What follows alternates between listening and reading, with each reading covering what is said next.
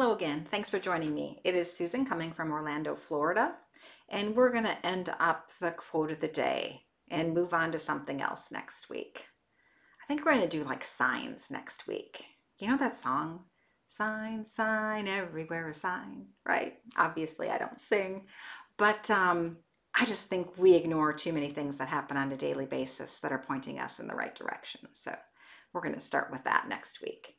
But today, to wrap up the quote a day, we um, there's a favorite quote I have from William James, who is an American philosopher. For those of you that aren't familiar um, with him or his work, and here goes.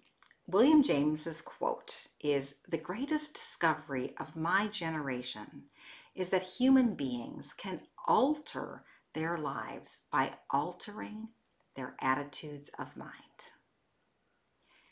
Human beings can alter their lives by altering their attitude of mind.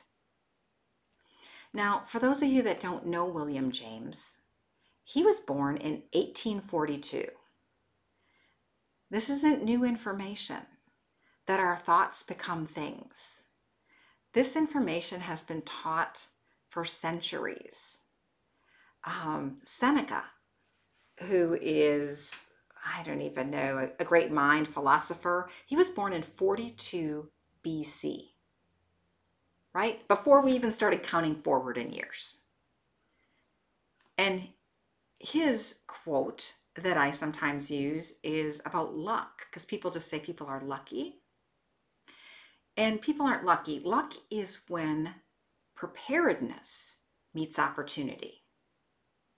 So if you're prepared and you're taking all the steps you have, an opportunity will come and you can act on that. A lot of people say, oh, they're just lucky. No, they're really not just lucky. That information has been around for over 2,000 years.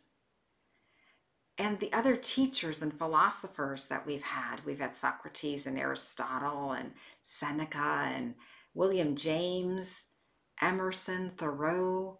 I mean, there's just been countless people trying to educate us, trying to tell us the truth about ourselves and who we are, and that we have everything. We have the power inside of us to become anything we want and to do anything we want to do.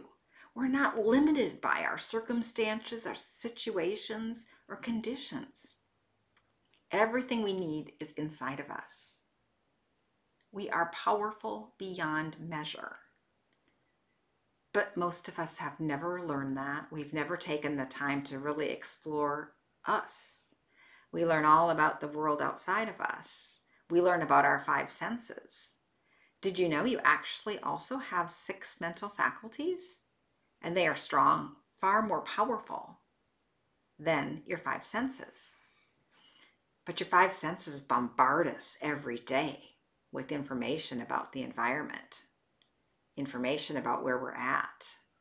It's continuous and constant. Our six mental faculties, however, are our intellectual capabilities. There are our ability of perception, our will, our imagination, right? Imagination can take you anywhere. You first create something in your mind, in your imagination, and then you can bring it into fruition. Our memory, our sense of reason, and our intuition, our intuitive factor. You know, some say when we pray, we're talking to God, that higher power, that infinite intelligence that's out there, that's in everything, everywhere. However, when we use our intuition, that same force that I call God, infinite intelligence, life source, whatever, that's when God is talking to us. We have to practice that. We have to hone in. We have to learn that skill in order to be able to act on that in our lives people say, well, how do you know it's intuition? How, how, you know, how does that work? Well, here's the thing is when you pick up a phone, I know right now generally there's caller ID, so you know who's on the other end of the phone. But let's say you didn't have caller ID and your mom called. The minute you heard the voice, you'd know who it is immediately because you recognize it. So, intuition, when we start honing in and learning how to use that faculty, that mental faculty, we know the voice. We know the true voice and we know it's not ourselves and, you know, our, our head talk that so many of us have. But the truth is, we are powerful and we have these senses or these mental faculties. And the five senses allow us to enjoy the outside world, right? Allows us to see and to smell and to taste and to touch. The mental faculties allow us to use our intellectual self, which basically separates us from the animals. The animals have five senses, but they can't think. We can do that. So do not sell yourself short ever. Know that just like this acorn, which has everything inside of it that it needs to grow into a majestic oak tree, you, inside of you, have everything you need to fulfill your purpose, to bring forth the gifts and talents that were given to you and you only. It is your job, while you're here, to bring those gifts and talents forward. But you see, in order to do that, we need a little help along the way generally because or else we fall back into our culture and our comfort zone and we just do it the way everybody else has done it. We need the right environment. We need to continue to learn and to grow and to learn ourselves, right? Not learn and grow about everything around us, which so much of school does, but learn about us, learn about who we are and the power that is inside of us that's where you find success. That's where you find abundance. That's where you find that passion for your true purpose, right? You wake up excited. You know that you can make a difference and you enjoy life. So, just like this little guy that needs to be in the right environment to grow, you need to be in the right environment. So, today, take a look at yourself.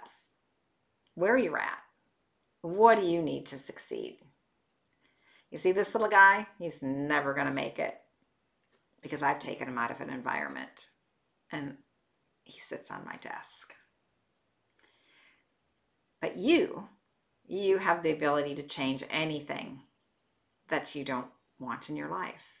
You can change trajectory at any time acorn cannot. So today, decide that today is day one. And I'm going to decide today where I want my future to go. I want to be on the trajectory that I need to be at to make my life from here on out extraordinary. That's all I have. It's been super fun doing quotes but I just want to switch to something else. So next week, catch me for signs. Bye bye for now.